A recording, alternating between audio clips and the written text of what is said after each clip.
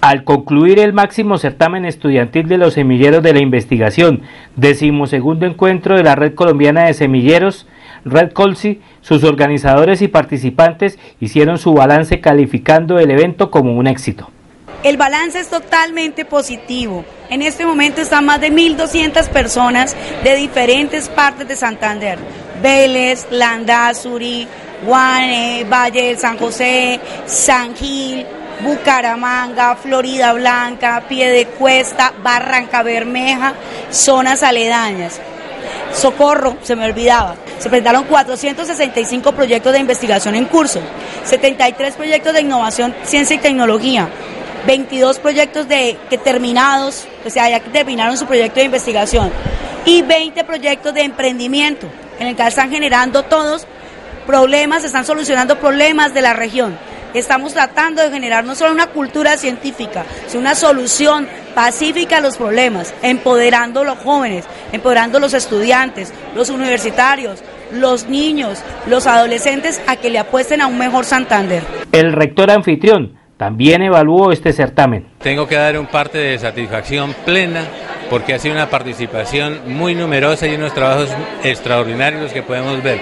El Colegio San José de Guanentá hoy, en esta semana, en estos dos días, ha sido epicentro de una actividad pedagógica y académica extraordinaria como nunca. Estoy feliz y estoy contento, estoy dichoso de haber llegado y poder disfrutar de, un evento de la magnitud y la importancia que estamos observando el día de hoy. El vocero de la red Colsi del Colegio Guanentá emitió su opinión sobre el evento. El educador del área de química del colegio fue el responsable de toda la organización del certamen, incluida la logística, también informó sobre los trabajos del colegio en el encuentro.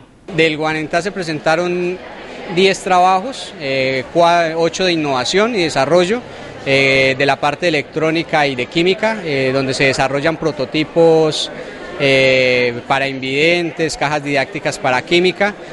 también tenemos un proyecto de los guanes, que es con el profesor, o el arquitecto, que es el encargado de digamos, de, la parte de geometría, entonces está encargado como de mostrar qué hacían los guanes con, eh, con sus pinturas y demás, y tenemos un proyecto de alimentación saludable de la, de la, Carlos Martínez. Desde el Instituto Damaso Zapata de Bucaramanga, uno de los educadores, coordinadores de la delegación de 17 estudiantes y 5 profesores, sintetizó su presencia en el encuentro regional de investigadores sus 17 trabajos destacados e indicó que tienen un lugar fijo para asistir a otro país trabajos como por ejemplo cómo conseguir que el agua sea más potable porque los chicos han buscado diferentes metodologías para eso, cómo hacer más factible que la basura que nosotros botamos normalmente eh, nos produzca material como combustible. También encontramos chicos preocupados por la salud de los mayores